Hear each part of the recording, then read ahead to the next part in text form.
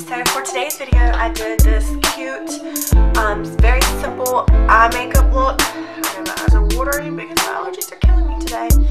But um, I did this very simple eye makeup look for glasses, um, specifically designed for people who wear glasses, no false lashes, just a little bit of mascara, very neutral, and then a pop of mauve nudie lip and then I of course wear my natural hair weird. I wear my natural wore my natural hair for this as well. So if you're interested in seeing how I got this look then just keep watching. And don't forget to subscribe before you leave. So I started this tutorial with the brows and other than that I'm completely barefaced. And I'm going to go in with the LA Girl Pro Conceal um, concealer to set the eyes as a base. Not set the eyes, prime the eyes as a base. For this, I'm using my Morphe MB9 brush to do this with. Then we're going into the Morphe Fall into Fall, Fall, Fall into Frost palette and I'm going to use this frosty shade to set that concealer and brighten up the eye area. For this, I am using the M173 brush. Then we're going into this tan shade as a transition shade. I'm going to take my Morphe M521 brush and just blend that into the crease area.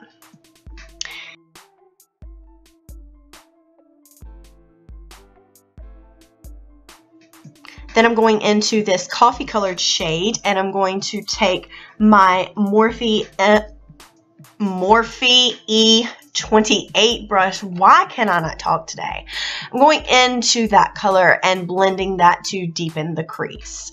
Then I am going into a little bit darker grayish colored shade with my Morphe M411 brush and we're going to put that on the outer corner and blend it into the crease.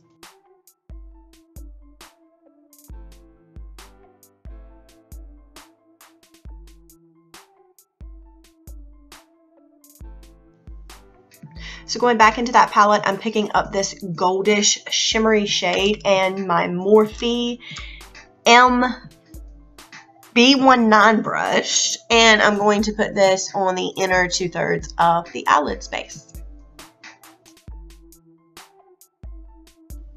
Then I'm going to curl my lashes using my Tarte eyelash curlers and get those ready for mascara. We're not going in with falsies today because this look is especially for people with glasses. So we're just going to coat those lashes with mascara. And yeah, that's what we're doing.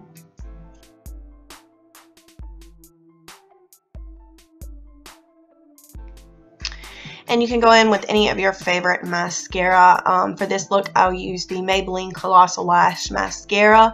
Um, it does make the lashes pop, but I did notice a little bit of residue on the lashes, so I kind of had to filter that out with my fingers. But it is a pretty good mascara, and it did make the lashes pop. So I found this on a day when my allergies were totally kicking my butt, hence the Rudolph the Red-Nosed Reindeer look I got going on there.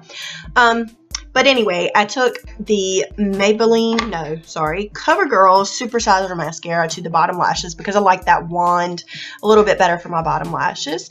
And just gave those a nice big coat. I also wanted my eyebrows to be a little bit different and quirky for this video, so I added a little bit of reddish tint to those. Um, up close it looks a little sketchy, but when you look from afar, it actually gave it a pretty tone, especially when I added this mauve color to the lips. I'm using one of the eyeliner pencils um, from Wet n Wild in the color... Mm, Gone Burgundy and I'm just overlining just a little bit to give that pouty look. Then I went in and added my new Kiss Me lipstick, liquid lipstick called Venice from Live Glam. And I really like the way this went with the eye look. I really like this color. Um, I think it's perfect for spring and it went well with the tone of my eyebrows. So yeah.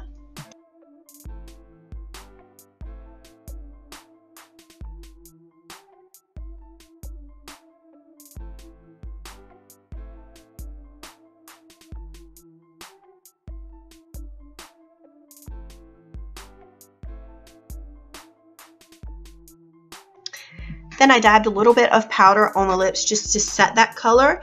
And I went over it with a gloss. I used the NYX Butter Gloss in Fortune Cookie just to make that look a little more shimmery. So thank you for watching, as always.